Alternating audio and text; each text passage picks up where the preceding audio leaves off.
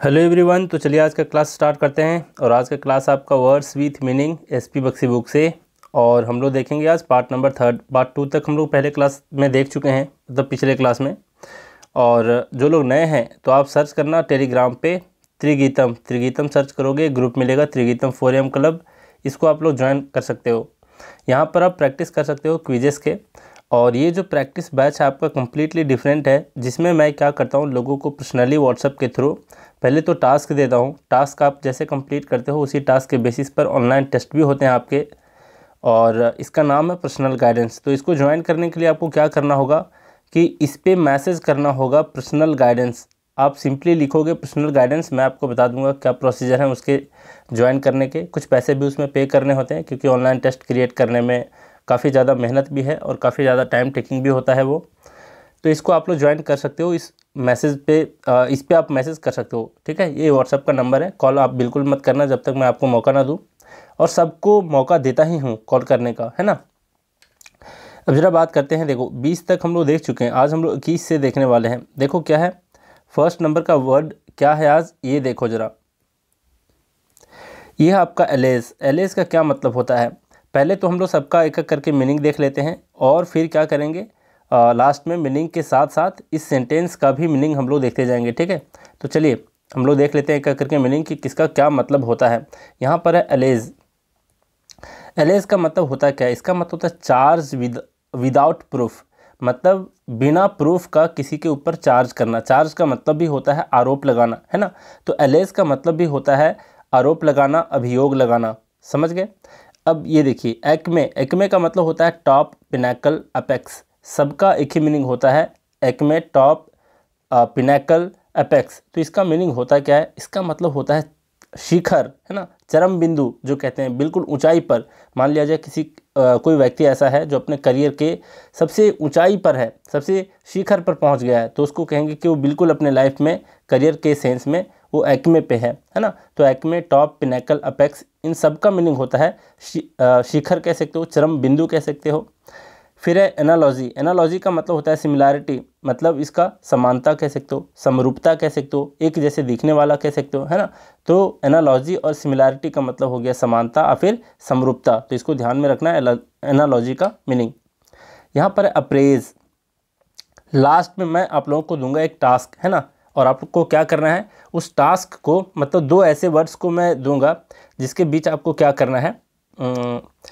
जो कन्फ्यूज़न होते हैं दोनों के बीच और दोनों के बीच क्या फ़र्क होता है, इसको समझते हुए आपको क्या करना है, आपको उसका आंसर बताना है कमेंट में। और हो सकता है कभी कभी मैं बिना कंफ्यूजिंग वाला वर्ड को दे दूँ, है ना? किसी एक वर्ड को दे दूँ कि आपको बताना है कि इसके बीच के मीनिंग क्या है, फ़र्क क्या है है ना? देखते जाओ। फिर यहाँ पर हो गया एनालॉजी जिसका मतलब होता है सिमिलैरिटी समरूपता, समानता, है ना? फिर ये है अप्रेज अप्रेज का मतलब होता है एस्टिमेट वैल्यू ऑफ़ क्या मतलब हुआ इसका? तो इसका मतलब होता है मूल्यांकन करना, किसी चीज़ की कीमत आंकना, ये भी कह सकते हो। तो अप्रेज का मतलब होता है एस्टिमेट वैल्यू ऑफ़ जिसका मतलब होता है किसी की कीमत आंकना और फिर किसी की मूल्यांकन करना। फिर अलोकेट अलोकेट का मतलब होता है ईयर मार्क और फिर सेट असाइड सेट असाइड हम लोग देख चुके हैं पहले ही, कब? जब हम लोग देख रहे थे आपका फ्रेजल वर्ब्स है ना? इसमें भी आया था सेट असाइड तो इसका मतलब होता क्या है? लोकेट का मतलब ईयर मार्क होता है, फिर सेट असाइड होता है। जिसका अर्थ क्या होता है, ये देखो। इसका मतलब होता है आवंटन करना, है ना? बांटना। बांटना मतलब मिठाइयाँ बांटना जैसे नहीं। मतलब मान लिया जाए आपके चार अलग अलग काम हैं और आपको पैसे लगाने हैं चारों चीज़ों के पीछे, है ना? तो आप क्या करोगे? अलोकेट करोगे उस मनी को, उस फंड को आप अलोकेट करोगे चारों काम के अलग अलग के लिए, है ना? तो उसको ही कहते हैं आवंटन करना बांटना या फिर किसी विशेष प्रयोजन के लिए आ, किसी धनराशि को अलग से रखना है ना? जैसे बहुत लोग क्या करते हैं अपनी जवानी में पैसे कमाते हैं तो बुढ़ापे के लिए क्या करते हैं? थोड़े बहुत फंड को सेट असाइड करके रखते हैं बचा करके रखते हैं ताकि बुढ़ापे में काम आए। तो उसी को कहते हैं allocate earmark set aside ठीक है? फिर यहाँ पर देख लो यहाँ है अडाज। अडाज का क्या मतलब होता है? अडाज का मतलब होता है वाइज सेइंग और फिर प्रोवर्ब तो इसका अर्थ होता है कहावत। और फिर लोकोक्ति कह सकते हो। वाइज सेइंग मतलब लोकोक्ति, प्रभाव का मतलब कहावत तो अडाज का मतलब भी होता है कहावत या फिर लोकोक्ति। फिर देख लो यहाँ पर यहाँ पर है एडवर्सिटी एडवर्सिटी का क्या अर्थ होता है? एडवर्सिटी का मतलब होता है पावर्टी या फिर मिसफॉर्च्यून जिसका मतलब क्या होता है? तो कह सकते हो कि बिल्कुल ही दुर्भाग्य कह सकते हो, विपत्ति कह सकते हो, आपदा कह सकते हो, मुसीबत कह सकते हो तो ये सारे इसके मीनिंग हो गए एडवर्सिटी के। ये सारे वर्ड पहले आ चुके हैं, पिछले बहुत सारे सीरीज़ में। यहाँ पर है अफ्लुएंस अफ्लुएंस का मतलब होता है अबंडेंस या फिर वेल्थ जिसका मतलब होता है, सबसे पहली बात अफ्लुएंस का देखो, एक दो मीनिंग होता है इसका। एक तो प्रचुरता होता है अबंडेंस के सेंस में मतलब अधिकता के सेंस में, बहुत अधिक मात्रा में किसी चीज़ के होने के सेंस में, और दूसरा होता है वेल्थ वेल्थ का मतलब क्या? धन संपत्ति, समृद्धि के सेंस में। तो अफ्लुएंस का मीनिंग हो गया यहाँ पर समृद्धि, धन, और फिर अबेंडेंस मतलब प्रचुरता, अधिकता के सेंस में। ठीक है? फिर यहाँ पर एम्पल एम्पल का मतलब है अबेंडेंट फिर यही वाला वर्ड आ गया आपका, है ना? अबेंडेंट तो एम्पल का मतलब होता है अबेंडेंट जिसका मतलब होता है प्रचुरता, अधिकता। ठीक?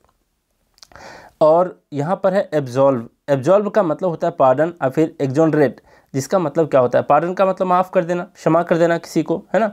और एक्जोनरेट का मतलब होता है किसी चीज़ के दोष मुक्त कर देना किसी को किसी को माफ़ कर देना, दोष से मुक्ति कर देना, है ना? कि चलो तुम दोष मुक्त हो, तुम दोषी नहीं हो, है ना? एब्जॉल्व कहलाता है वो। फिर से एक बार, फिर से क्या मतलब हम लोग मीनिंग देखते जाएँगे एक एक करके, और इसके साथ जो सेंटेंस दिए गए हैं, उसके भी मीनिंग को देखने वाले हैं, देख लो। यहाँ पर है एलेज एलेज का मतलब क्या बताया? अभी अभी चार्ज विदाउट प्रूफ मतलब क्या आरोप लगाना, अभियोग लगाना, है ना? फिर यहाँ पर देख लो क्या दिया है सेंटेंस में। यहाँ दिया इट वॉज़ अलेस्ड बाय हर एनिमीज मतलब उसके दुश्मनों के द्वारा उसे अलेज किया गया था मतलब अभियोग किया गया था उस पर आरोप लगाया गया था। किस चीज़ का? That she has misappropriated the money of the trust कि जो ट्रस्ट है है ना, जो संगठन है उसके मनी को उसने मिस अप्रोप्रिएट किया, इस चीज़ का एलेस किया गया उसके ऊपर, उसके दुश्मनों के द्वारा। मतलब बिना प्रूफ के वो लोग क्या किए? आरोप लगाए उसके ऊपर कि उसने ट्रस्ट के मनी को मिस अप्रोप्रिएट किया। मिस अप्रोप्रिएट वर्ड भी पहले आ चुका है एडिशनल वर्ड में। आप लोग एक वर्ड को पढ़े होंगे, और उस वक्त भी मैं शायद बताया था कि एम्बेजल एक वर्ड होता है। क्या होता है एक वर्ड एम्बेजल इस वर्ड का मीनिंग क्या देखे थे हम लोग? तो इसका मीनिंग देखे थे हेर फेर करना है ना? गबन करना कह सकते हो दुरुपयोग करना दूसरे का माल को खा जाना है ना? जैसे नेता लोग करते हैं। तो एम्बेजल करते हैं मतलब किसी फंड का आ, किसी स्कीम में कोई फंड आया हुआ है कोई पैसा आया हुआ है तो उसको एम्बेजल कर जाते हैं गबन कर जाते हैं ना? उस चीज़ को खा जाते हैं उसके पैसे को। तो उसको ही कहा जाता है एम्बेजल एम्बेजलमेंट तो यही इसका सिनानिम है मिस अप्रोप्रिएट का। मिस अप्रोप्रिएट का मतलब भी होता है दुरुपयोग करना और फिर हेर फेर करना पैसों के साथ। समझ गए आप लोग अच्छे से? अब ज़रा देखो, यहाँ पर मैं कुछ आपको एक पॉइंट बताने वाला हूँ। ये ये वर्ड है मिस अप्रोप्रिएट मान लिया जाए एग्ज़ाम में पूछ दे कि मिस अप्रोप्रिएट का सिनानिम लिखो, है ना? और मान लो कि वहाँ पर एम्बेजल दिया है, तब तो आप लोग पकड़ लोगे, है ना? एम्बेजल अगर दिया है, तब तो आप लोग पकड़ लोगे। लेकिन मान लो एम्बेजल ना दे करके एक वर्ड वहाँ पर दिया रहे अप्रोप्रिएट अप्रोप्रिएट मतलब उपयुक्त भी होता है है ना? उपयुक्त होता है या फिर उचित भी होता है। लेकिन मान लो कि वहाँ पर उस सेंस में ना दे मिस अप्रोप्रिएट का सिनोनिम में एक ऑप्शन अप्रोप्रिएट रहे तो आपको क्या लगेगा इसको देख करके? आपको यही लगेगा ना कि अप्रोप्रिएट इसका एंटोनिम हो सकता है, क्योंकि मिस यहाँ से हटा दिया गया है।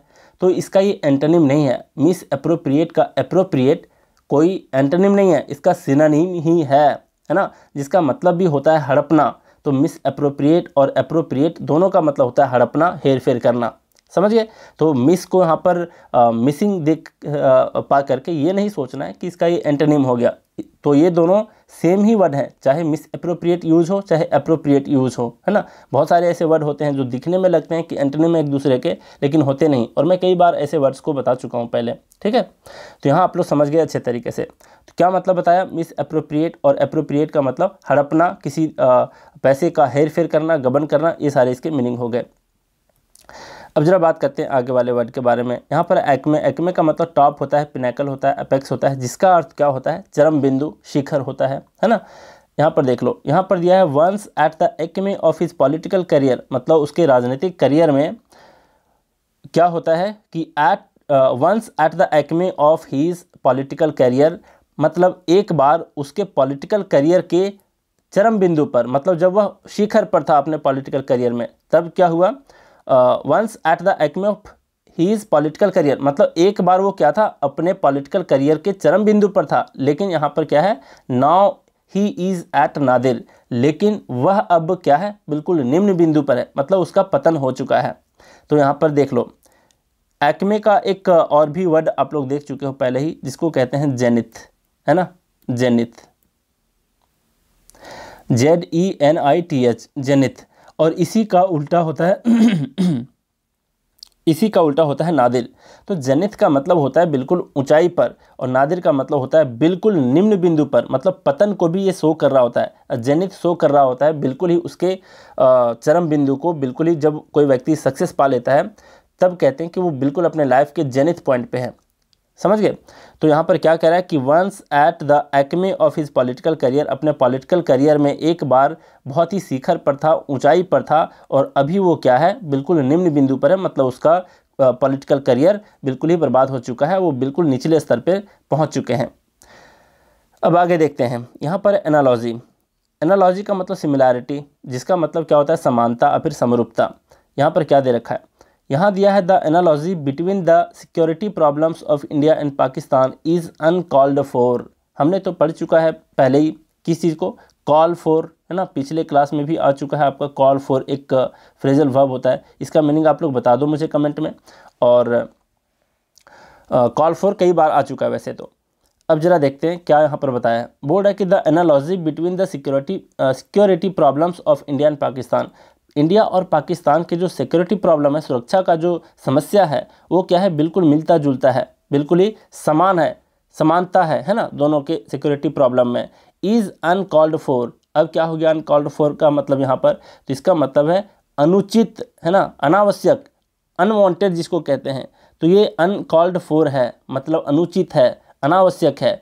क्या अनावश्यक है? जो समानता है इंडिया और पाकिस्तान के बीच में, किस चीज़ का सिक्योरिटी प्रॉब्लम को लेकर के ये बिल्कुल ही अनवांटेड है, बिल्कुल ही अनुचित है, बिल्कुल ही अनावश्यक है। तो याद रखना अनकॉल्ड फॉर का मतलब होता है अनुचित होना, अनावश्यक होना अनवांटेड होना। तो ध्यान रखना एनोलॉजी का मतलब होता है सिमिलैरिटी मतलब समानता या फिर समरूपता।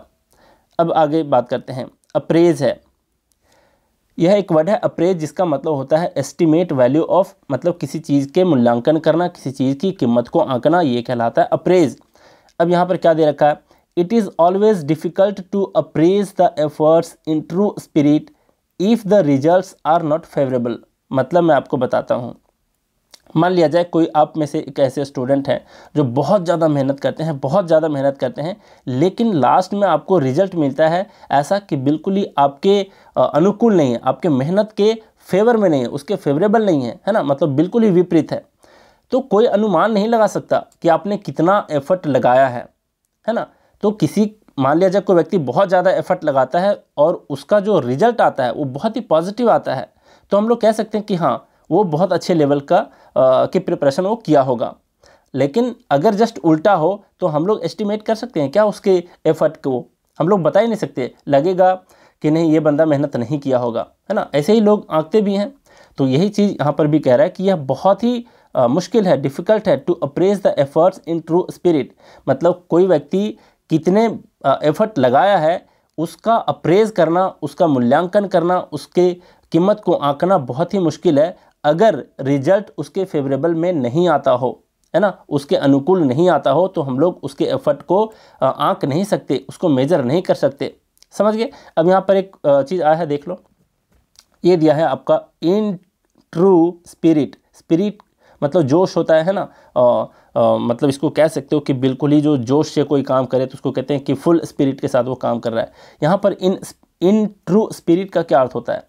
तो इसका मतलब होता है सच्ची लगन से सच्चे लगन से और फिर सच्ची भावना से। कौन कितना एफर्ट्स लगाया है उसका मूल्यांकन करना मुश्किल है अगर रिज़ल्ट फेवरेबल में नहीं आता हो। तो ध्यान रखना in the in true spirit का मतलब होता है आ, सच्ची भावना में और फिर सच्चे लगन से जो लोग काम करते हैं। ठीक है? फिर यहाँ पर देखते हैं अलोकेट तो ध्यान रखना अप्रेज का मतलब होता है एस्टिमेट वैल्यू ऑफ़ जिसका मतलब क्या होता है आ, कीमत आंकना किसी चीज़ का फिर मूल्यांकन करना। यहाँ पर अलोकेट अलोकेट का मतलब earmark set aside funds जिसका मतलब होता है आवंटन करना, किसी विशेष प्रयोजन के लिए किसी पैसे को रखना, है ना? और फिर बांटना पैसों को। तो मैं पहले बता चुका हूँ किस सेंस में बांटने की बात कह रहा है यहाँ पर। देख लो, इससे समझ जाओगे इस वाले सेंटेंस से। यहाँ दिया है the prime minister has allocated a huge sum for the uplift of those living below poverty line यहाँ पर बोल रहा है कि जो बीपीएल लाइन से नीचे होते हैं जो गरीबी रेखा से बिल्कुल नीचे होते हैं उसके अपलिफ्टमेंट के लिए क्या किया है? प्राइम मिनिस्टर ने अलोकेट किया है एक बहुत ही बड़ा रकम बहुत ही बड़ा रकम को अलोकेट किया है उसका आवंटन किया है है ना? तो इस विशेष कार्य के लिए उसने आ, क्या किया है? आ, कुछ ह्यूज सम को अलोकेट किया है। समझ गए? मतलब आवंटन किया है। क्लियर यहाँ पर अलोकेट ईयरमार्क सेट साइड इन सब का मतलब होता है आवंटन करना या फिर बांटना। फिर यहाँ पर देख लो, छब्बीस नंबर में है अडास। अडास का मतलब होता है वाइज सेइंग या फिर प्रोवर्ब्स मतलब जिसको कहते हैं कहावत, लोकोक्ति, है ना? तो इसका ये मतलब होता है, अडास का मतलब लोकोक्ति। फिर यहाँ पर क्या दे रखा है? We have often heard the adage pride hath a fall देख लो, यहाँ पर जो प्राइड हैथ है फॉल है, ये बिल्कुल ही लैटिन या ग्रीक वर्ड होगा। हैथ का मतलब होता है हैज़ है ना?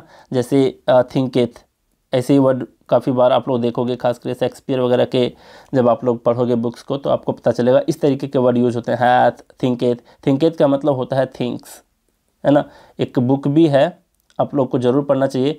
Almost seventy five eighty rupees की बुक है, बहुत पत्ती सी बुक है। उसका नाम है एज अ मैन थिंकेथ उसमें यही वाला थिंकेथ यूज़ किया है एज अ मैन थिंकेथ जो जेम्स एलन की बुक है, बहुत ही शानदार बुक है। मैं, उसको लगता है कि मैं पाँच छः बार उसको पढ़ाऊँ इतना मस्त वो बुक को लिखा गया है आपके थिंकिंग के ऊपर। ऐसे बताया जाता है कि जैसे आप सोचते हो, वैसे ही आपकी डेस्टिनी तय होती है और आप जीवन में उसी तरीके से आगे बढ़ते हो।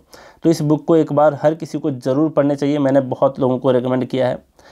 तो आप भी उसको पढ़ सकते हो। एक बार फिर से लिख देता हूँ उस बुक का नाम। एज अ मैन थिंकेथ उसमें थोड़े से वर्ड जो है ना यूज़ किए गए हैं तो वो सारे वर्ड्स थोड़े से डिफ़िकल्ट लेवल के हैं, क्योंकि ग्रीक और लैटिन वर्ड्स बहुत ज़्यादा मिलता है। तो आप वैसे भी डिक्शनरी का यूज़ करोगे तो पता चल जाएगा। सेंटेंसेस बहुत लंबे लंबे लिखे गए हैं उसमें। तो ये भी है कि उसको समझना थोड़ा सा मुश्किल होता है, लेकिन एक दो बार उसको पढ़ लोगे ना तो मज़ा आ जाएगा आपको। उसके जो कंटेंट है, उसको ले करके, उसको ग्रहण करके आप बहुत ज़्यादा खुश होगे। मतलब हो सकता है आपके थिंकिंग प्रोसेस को चेंज कर दे। तो बहुत ही शानदार बुक है इसको ज़रूर पढ़ना लाइफ में एक बार as a man thinketh by James Allen अब ज़रा बात करते हैं देख लो। अडाज का मतलब मैंने बताया वाइज सेइंग या फिर प्रभव इसका मतलब लोकोक्ति होता है या फिर कह सकते हो इसको कहावत है ना? यहाँ पर है वी हैव ऑफन हर्ड मतलब हम लोग अक्सर ही ऐसा सुने हैं किस अडाज को किस लोकोक्ति को किस आ, आ, मुहावरे को इस वाले मुहावरे को। प्राइड हैथ अ फॉल इसका हिंदी मीनिंग क्या होता है पता है? इसका हिंदी मीनिंग होता है ऊँचे बोल का मुँह नीचा। ऊँचे बोल का मुँह नीचा। इसका मतलब होता है कि घमंड करने वाले कोई जो एक व्यक्ति हैं, उसका सर एक दिन ज़रूर झुकता है है ना? तो घमंड नहीं करने चाहिए। इसके सेंस में बताया कि एक घमंडी व्यक्ति का सर कभी ना कभी झुकता ही है। तो इसका ये मीनिंग होता है। तो यही कह रहा है कि इस अडाज को हम लोग ऑफन सुन चुके हैं, है ना? ऐसा बताना चाह रहा है। फिर देख लो, यहाँ पर है ट्वेंटी सेवन्थ नंबर में एडवर्सिटी एडवर्सिटी का मतलब पावर्टी या फिर मिसफॉर्चून जिसको कह सकते हो, बिल्कुल ही विपत्ति, है ना, मुसीबत, आपदा, दुर्भाग्य, ये सारे इसके मीनिंग होते हैं। यहाँ पर क्या दे रखा है देखो एडवर्सिटी ब्रिंग्स आउट मतलब जो एडवर्सिटी है मतलब विपत्ति जो है, मुसीबत जो है, वो क्या करता है ब्रिंग्स आउट करता है the latent qualities in a person एक व्यक्ति में छुपे हुए जितने सारे गुण हैं, उसको वो बाहर निकालता है मुसीबत। है ना? हो, बहुत बार ऐसा होता है कि लोग कंफर्ट जोन में रह रह करके बहुत ही मतलब पैर पसार करके खाएँगे, मेहनत नहीं करेंगे, है ना? बिल्कुल ही मेहनत करने में मन नहीं लगता, खा लेते हैं तो तुरंत नींद आ जाती है। लेकिन एक बार मुसीबत आ जाए ना आपके लाइफ में तो क्या होता है कि आपको खाने के बाद भी नींद नहीं आती। आपको लगने लगता है कि नहीं, इस चीज़ को मुझे अचीव करना ही करना है।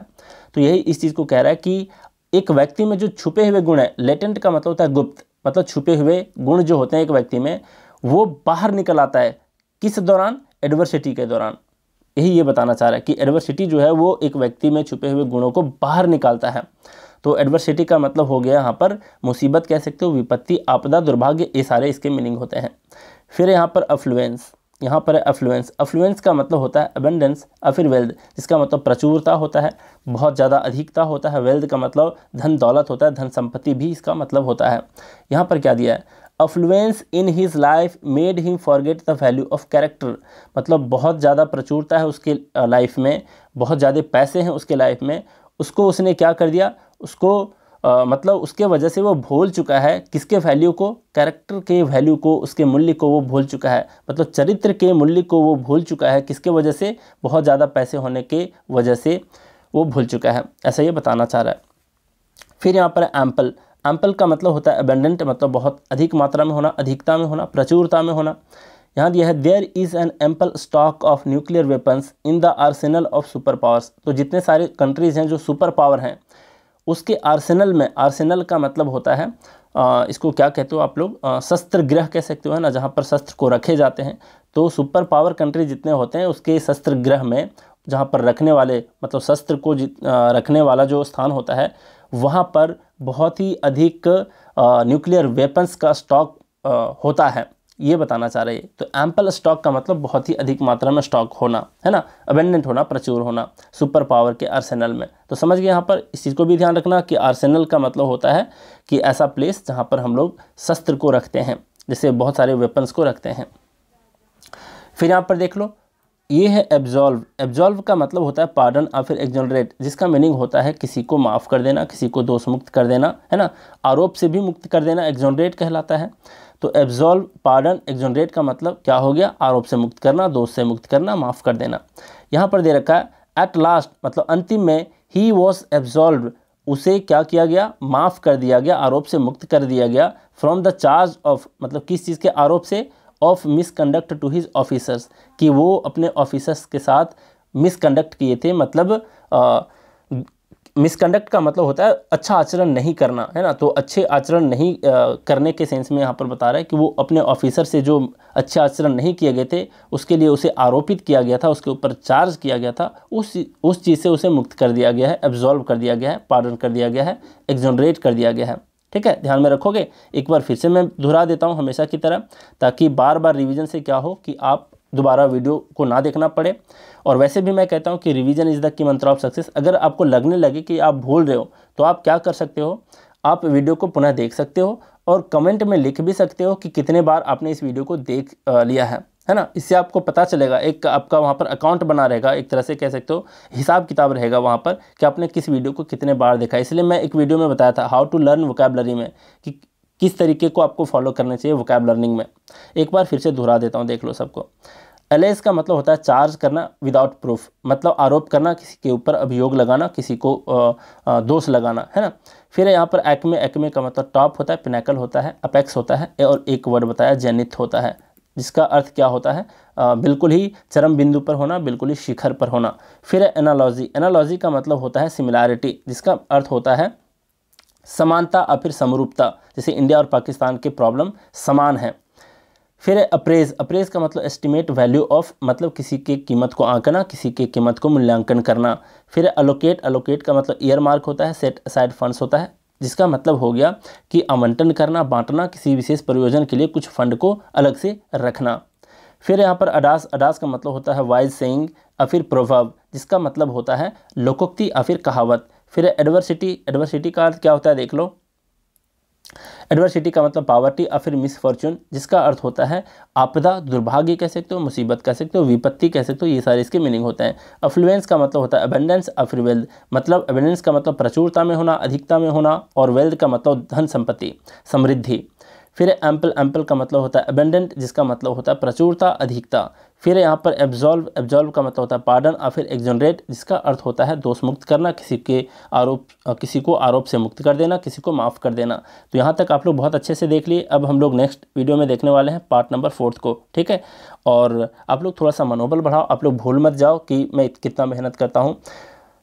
खैर, मेरे साथ भी बहुत सारी प्रॉब्लम है, जिसके वजह से मैं वीडियो लगातार नहीं ला पा रहा था, लेकिन कोशिश है हमारी कि हम जल्दी से जल्दी सारे सीरीज़ को कंप्लीट कर दें, ठीक है? मतलब चैनल पे किसी चीज़ की कमी ना रहे इंग्लिश में। तो चलिए, आज भी बहुत कुछ सीखे हम लोग तो आज का क्लास यहीं रप करते हैं। Thank you very much